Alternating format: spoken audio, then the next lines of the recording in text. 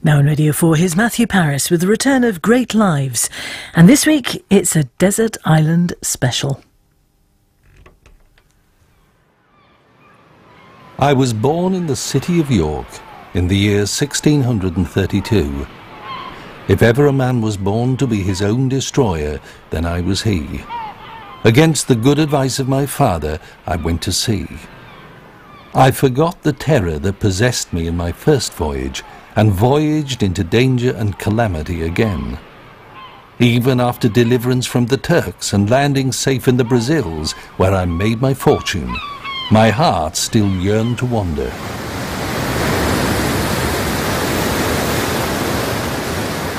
We all know that feeling. My guests today certainly do. The clip you've just heard comes from an astonishing tale, The Life and Adventures of Robinson Crusoe, written by himself. That novel is 300 years old this year. Now let's play for a while with the idea that Crusoe was real, because in truth, we have two great lives in this programme Crusoe and his creator, Daniel Defoe, who lives in a way through his creation, as authors often do.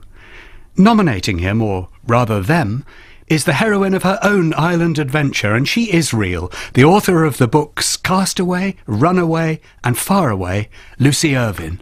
Let's begin very simply, Lucy. Where are you speaking to us from today? These days, uh, I live in a caravan in rural Bulgaria, surrounded by rescued horses, but I've managed to get away from them, and uh, I'm in the town of Stara Zagora in south central Bulgaria. has Bulgaria become a, a sort of uh, desert island for you? Very much so. You spent a year on Tuin, an island between New Guinea and Australia. Can you tell us how and why you ended up there? A short version of uh, that answer would be that I was quite bored working for the Inland Revenue as a clerk when I was 24, and I went out one lunchtime to a local library, was skimming through adverts in Time Out, and I saw a rather riveting one.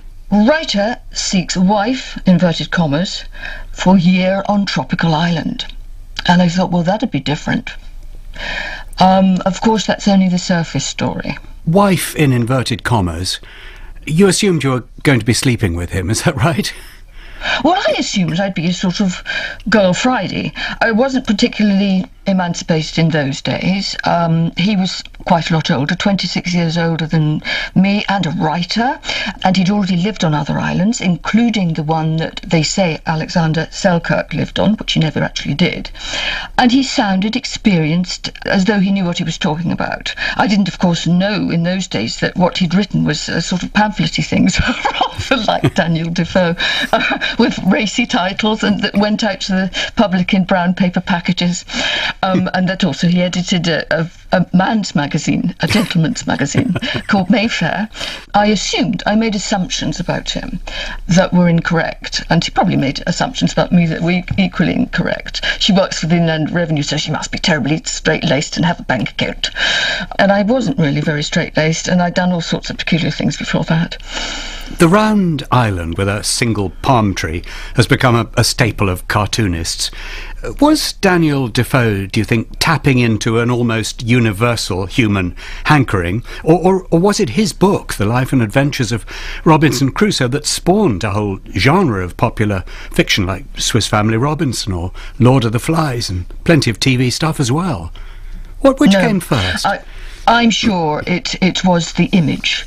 Uh, I've thought about this quite a lot. I mean, the book definitely contributed hugely, but that image just says limited horizons, simplicity, warmth, beauty.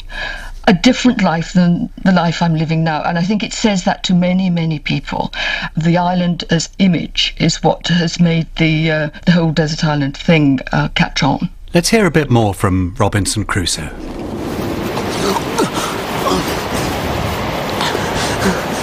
Must swim.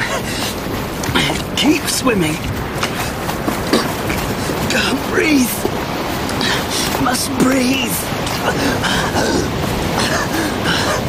That's better. Now swim. Swim. That was a reconstruction of the moment poor shipwrecked Crusoe first hit dry land, with Roy Marsden as the old Crusoe and Tom Bevan as the young man. I'm joined here in the studio by Martin Popplewell, who, over 30 years ago, saw a film called The Blue Lagoon and decided he wanted to live on a desert island too. And that's exactly what he did. How did that work out for you, Martin? Well, our arrival was a lot less traumatic than, than the one which we've just had, though, in a sense, no less complicated. The Blue Lagoon, I would say, is actually uh, a Robinsonade. It, it, it comes from that same genre, and I saw that film when I was 15 years old and was utterly captivated by the idea of being stranded on a desert island. Getting to one turned out to be a lot more complicated. I ended up advertising uh, in the same way that Lucy uh, was involved in an advertisement uh, and going off to an island. It didn't work out with the first girl. She left. Uh, and then another girl Friday came and joined me. And we kind of got to that sort of experience which I was hoping to recreate of building our own house and living in part the whole idyll of living on a desert island. Tell me, Martin, about Crusoe's early life. Something that surprised me reading the book is how much uh, happened to him, how much detail there is before he even gets to his desert island. This is the thing. I think when people think of Robinson Crusoe, they just think of the island and nothing else. But there's a whole huge portion of the book before that, which starts with him being told by his dad not to go off and, you know, to, to sort of get a sensible job, be a lawyer or whatever.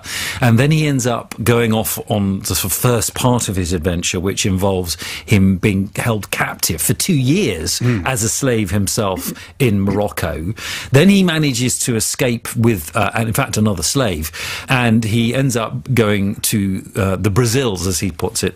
Um, rather cruelly, he kind of sells the slave that he escaped with to the captain on the boat.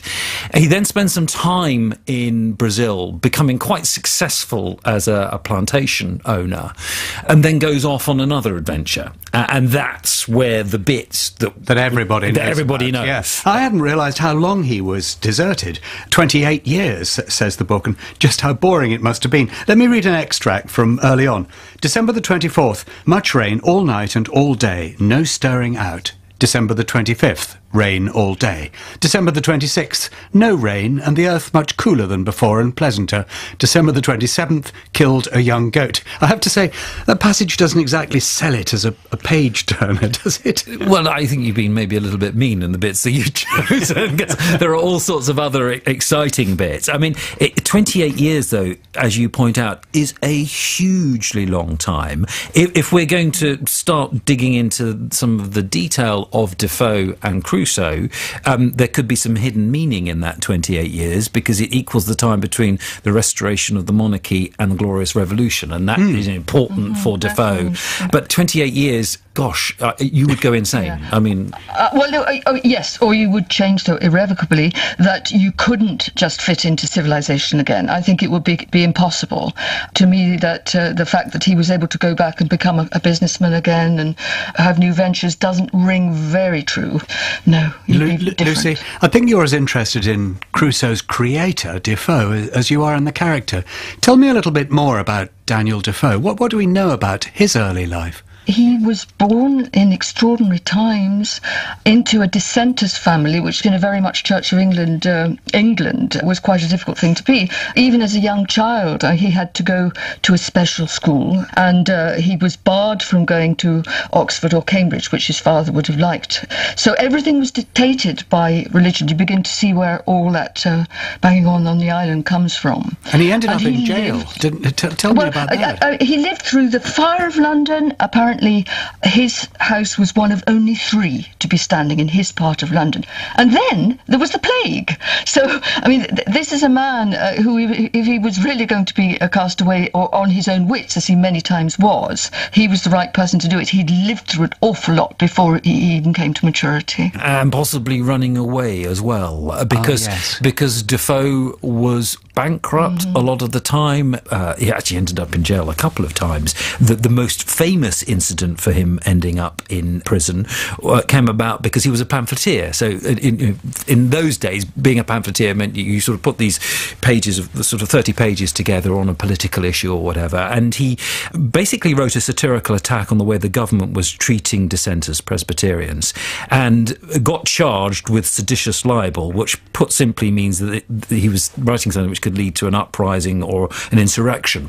Found guilty and was put in the pillory, which basically meant the ah. stocks, which they moved yeah. around to three different locations in London, and you could you could end up getting serious injuries, people perhaps through yeah. unfortunate and, and things. Then, I mean, and we call cannibal savage. To me, that's an extraordinary punishment. With your head bent forward and your arms stuck through holes, your back must have ached tremendously, and for three days. In three different locations. Yeah.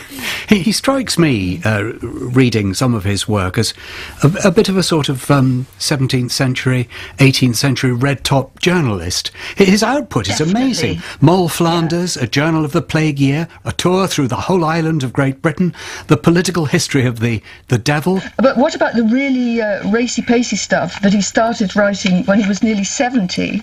One of them was entitled uh, Matrimonial Whoredom, or a treatise on the use and abuse of the marriage bed. Now, that was sheer journalist chutzpah, yes. wasn't it? I mean, he put that title out there. It was immediately withdrawn, shock horror, but people were gagging to read it. So then it went out just with the treaty's name. And he, he says of, his, uh, of himself, no man has tasted differing fortunes more, and 13 times I have been rich and poor. Absolutely right. Roller coaster of a life. He was a spy for a while too, wasn't he? Yes, not a spy in the form of sort of James Bond, hmm. but he would basically go around listening to what people were saying. So that this was before the Act of Union between hmm. uh, England uh, and Scotland, or, or, around about the time. He was up there listening to what people were saying uh, and reporting back to very senior people within government in, in, in London as to what was going on and what people were saying or what people were thinking. So he was a spy in that sense. But before the spying, before the writing, he was a trader, uh, and he mm. basically was involved in, in selling pants, knickers, and, and tights. Hosiery, I think, is is, uh, is the term. Uh, also had a brick factory randomly out in Tilbury in Essex. He ha- had a very very full and diverse life. You're listening to Great Lives with Lucy Irvine and Martin Popplewell. Today we're looking at the life of Daniel Defoe. Lucy, was there an inspiration uh, for the life and adventures of Robinson Crusoe written by himself? Was Daniel Defoe basing this on anyone else's experience? Oh, I'm sure that he'd have uh, collected lots and lots of different stories from sailors, from people he met in jail, and uh, put them all together. And I'm sure that uh, somewhere along the line, Alexander Selkirk's story came to him. Alexander Selkirk was uh, a castaway who lived off the coast of Chile for a while when he was genuinely castaway, for four years, I think it was. Gerald, my husband of a year, went and lived on the same island. But I don't think that Alexander Selkirk was the one base for the story of uh, Robinson Crusoe, and uh, I understand that academicians feel that it, it's absolutely impossible that this was uh, all taken from one person, one person's story. Do you think some people like Crusoe or Selkirk or, or you, Lucy, or perhaps you, Martin, have a higher threshold for, for loneliness than, than others, or, or do we delude ourselves that we, we can just be alone and not go crazy? I couldn't do it now. I think, you know, I did it when I was much younger and for a much shorter period of time. And if I went back there now, I would go bonkers within a, a few days, hmm. let alone a few years. And so I think I think you know your horizons when you're young are, are much narrower. I, I'm not sure about Lucy, but I couldn't go back. Did you go bonkers, Lucy? If I did, I still am, because I'm still doing it, in a sense. Uh, I mean, when I uh, came back from Tuin Island, I spent some time, in a sense, trying to be normal. I had a family, but as soon as that family was old enough, to go off to a desert island. That's what I did because I felt the benefits of uh, that year that I'd had on Tuin Island was so great. I wanted my children to have such benefits themselves. That's the story of um, the year that I spent with my younger sons out in the Solomon Islands um, on a five-acre speck. You're a glutton, um, glutton for punishment. I'm a glutton. Yeah. May, may I read a little uh, quote from one of your, your books? With a little pirouette of inner excitement, I realised just how much there was to look forward to tomorrow. The thought of being naked all day in the sun was delicious enough, but there was the whole of our new world to explore. Why are we so drawn to this tale of those who choose to live so independently? Why, why has it taken root in our culture in, in, in the way it has? I think it's because most people's lives seem to them, at some stage at least, very complicated, very demanding. I didn't know which way to turn, and there were so many possibilities. So I was looking for simplicity, and I think a great many people are. It's about having your own kingdom. Can I just uh, try to find a bit that I absolutely love uh, in Robinson Crusoe? Can you give me a second? Yes, absolutely. Uh, yeah.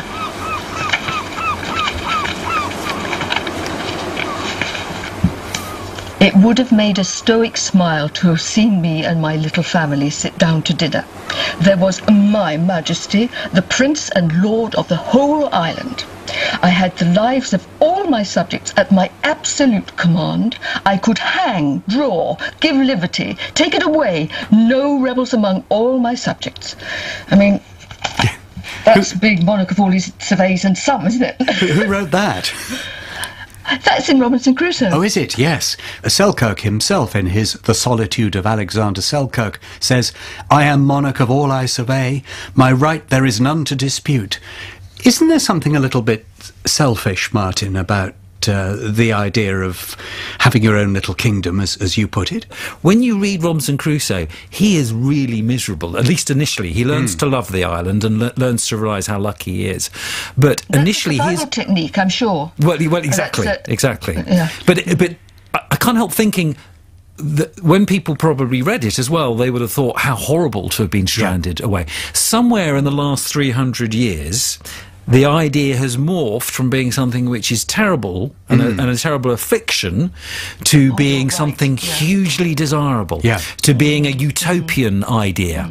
And, yeah. uh, and, and mm-hmm. it's wrong, it but it's a really important thing to observe about how the castaway myth has evolved in the last 300 years. I, I think pe- people have changed so much in their attitude to it. For instance, I, I didn't feel at all, this is my kingdom. I felt very humbled by being a, a, minuscule and inconsequential speck on an island. Uh, every evening I would walk out onto a sandspit when the tide was low, and I would realise how how little and unimportant I was, and how huge and terrifying and also magnificent nature was, if you like. I wouldn't say this is in harmony with nature. It's more like being in awe of something you can't control. You can't control it. So this thing about uh, forming a kingdom on an island, to me, is like an attempt at controlling in order to stay sane, if you like. And also, I mean, it's of its time, isn't it? It's empire building. And uh, if ever there was uh, an imperialist, imperialist uh, cultural colonial, that has to be Robinson Crusoe. Absolutely, Lucy. And let's hear another extract from the book, which this leads us straight to. This time it's about Crusoe's companion, Friday. The days after the discovery of the footprint were a turmoil of doubt and fear. I hid in my cave, too frightened to venture forth, except on brief excursions. I never went without my gun, although I did not use it for fear of alerting my enemies, but took to snaring game and fishing. Each morning, I climbed the hill behind my cave and spied my island, always looking towards the west to see if there were any visitors. I see it clearly now. The footprint was a vision sent to be a test of my faith. For what mortal man can leave one footprint on an entire shore? Fear of danger is a thousand times more terrifying than danger itself. The summit. The air is good and fresh. The sun shines, the sea is perfect. My island is a garden of Eden. Lucy, uh, are you comfortable with Crusoe's relationship with Friday? No, I'm not comfortable with it, but that's because I'm a person of my time, and Defoe, who created Crusoe, was a person of his time, and it was in the way of things for Defoe to make his character, Crusoe, immediately see this savage as inferior to him and somebody to enslave and be useful to him. And we, we, we have uh, quite near the beginning of their relationship the moment when um, Friday puts Crusoe's foot on his head. Uh, and this is a sort of ultimate act of maybe rather wishful submission. And uh, people must have seen a, a, wonderful satirical adaptation of the Crusoe story called Man Friday, with uh, starring Peter O'Toole and his wonderful Perfect for Desert Island Eyes. In that, uh, uh, he teaches uh, Friday to be exactly like an English schoolboy. Uh, there's a beautiful scene where they're eating for the first time together, and of course Friday's sitting a bit down, and uh, the body language is all "I'm master, you slave." And when he names him Friday, he he gives Friday a name, but he doesn't have a name. He's master. I master, you Friday. Don't play about with your spoon. I wonder uh, Martin, whether um, there isn't just a missionary instinct at play here. do you do you sense any sort of gay subtext to the relationship with Friday? In the book, in Robinson Crusoe, there is nothing, no reference at all. Mm. The only thing which does come out from the book is um, Crusoe is really, really fond of Friday in a way that I would imagine that he had a, a, an affection for him that I suspect would have not have been the same kind of affection that a slave owner would have had. Yeah, or the readers would necessarily have expected. Exactly. And it's also important to point out that uh, Friday was actually not a black African. He was from the sort of the Caribbean, from those mm. islands there. What some scholars of Defoe have said is that Defoe was homosexual. Obviously, we'll never know. But there are a number of people who have pointed to that. And it's interesting that, you know, it wasn't a woman that he, he ended up being on an island with, it was a man. The film of Martin's experience out on a speck of Micronesia was called The Real Castaway, and at one point he starts talking about being terrified of going back because of the sheer numbers of people, options, choices, people. Uh, I, I remember being more daunted about going back to the UK than I felt going to my desert island. Maybe it's because when you're living on a desert island, it's very, very simple. It's a matter of about clocking the fact that you perhaps haven't got enough firewood, and so you should perhaps go and collect some driftwood or make sure that you uh, open up some dry coconuts to add to your, your fuel. And so, yes. Uh, and I remember as well, we had occasional visitors from another island about 10 miles away. That was the closest inhabited land. But they always came during the day and they were friendly. we knew them. And we'd hear the boat in the, the distance and we'd see them approaching. I remember one night hearing this boat. And Rachel, my companion and I, we were terrified. Did you, Lucy, develop this fear of other people while you were on the island? Yes. Uh, in, in fact, uh, during part of the time when I was on the island, towards the end, when Gerald, uh, my husband, was starting to mend um, engines for uh, local islanders. I started to resent their coming. I just wanted to go back to being alone on the island, and actually, that's what I did. I said to Gerald, Look, we've come here for a year. I want to stay here. And Gerald would go off to another island, and, and uh, he would stay with the chief of Badu, and I would stay alone on Tuin. An author who explored um, a, a, different theme, but uh, along the same lines, is uh, J.M. Coetzee, who, of course, uh, wrote Foe, a book called Foe, which is all about a woman landing on the island and kind of living between Friday and Robinson Crusoe. Um, and she actually has her way with Crusoe and ends up going off with Friday. It's a it's a marvelous book actually. But um, no, it's, it's, very. But don't you think also that I mean it, it may not have necessarily been that uh, Crusoe was gay or Friday gay, but perhaps because they were so dependent on each other, they had to form an unusually close relationship. What's interesting, Rather though, is like- well, uh, what, sorry to interrupt. Uh, They had to form a close relationship, but there's no there's no really in the book where Crusoe gets annoyed with Friday. We obviously don't know what Friday's thinking, and I just can't help thinking my experiences of living on an island. I think all of our experiences of being on holiday with friends. If you're cooped up mm. with one other person for a while, mm-hmm. you will probably end up having a row about something, and those those rows matter to you. But there's no reference to them in Robinson Crusoe at all. The other thing, just as an aside, which fascinated me, there are no reference to coconuts. And when you are on a desert island in the Caribbean, it's all about coconuts. You can drink them, you can eat them, you can make alcohol out of them, you can make vinegar out of them, you can make thatch to put on your, your roof to keep you dry. But there is no reference to the coconut tree in in Robinson Crusoe. And that- to- yeah, instead, there's reference to corn and rice. Uh, you're, you're quite exactly. right. I mean, it's not Yeah, where did that come from?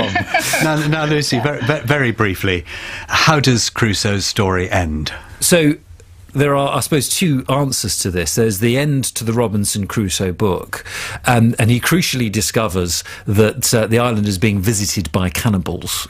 Some mutineers arrive, and basically he helps the captain get control of the ship and then leaves.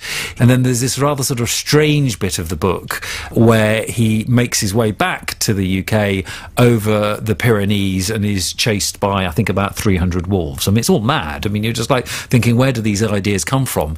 That's the end of the Robinson Crusoe first book. He did, of course, write a second book, which I'll give you the short version of. It's called The, the Further Adventures of, of, of Robinson sequel. Crusoe. Yeah, the sequel came out the same year because it had been such a success in 1719, the first one, um, where he goes off on, on a whole load of adventures. Poor old Friday gets killed. Uh, he, he does actually go back to his island, interestingly enough, but uh, ends up going to Madagascar and Siberia and all sorts of other places. Defoe, through the mouth of Crusoe, admits, almost from the start, that his adventures were reckless and foolish. Lucy first, and, and then Martin. Was it silly what you did?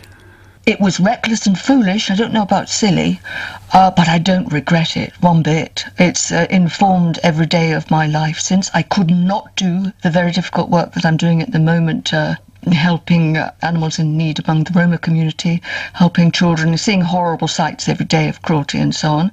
I couldn't do it without having the island experience. And I couldn't have coped when my house burnt down two years after I moved to Bulgaria. It was just automatic. I went straight back into castaway mode. um, right, I'm going to camp. Fine. I would completely agree with Lucy. Uh, reckless and an experience which has defined, absolutely, without doubt, everything that has come after it. That knowledge that actually you don't need very much to survive. Hmm, my thanks to Lucy Irvine in Bulgaria and to Martin Popplewell in the warmth and safety of this London studio. Goodbye.